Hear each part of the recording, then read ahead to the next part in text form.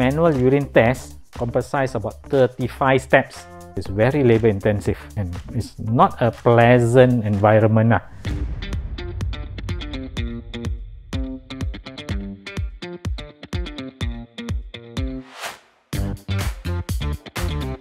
Behind is all the backend automation that do the urine testing and technology safeguard to prevent some of the foul play encountered.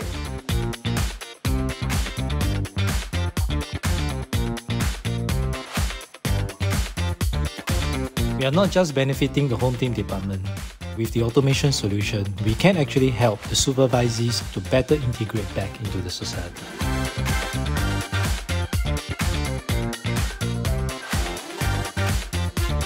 It's a step forward, uh, I would say.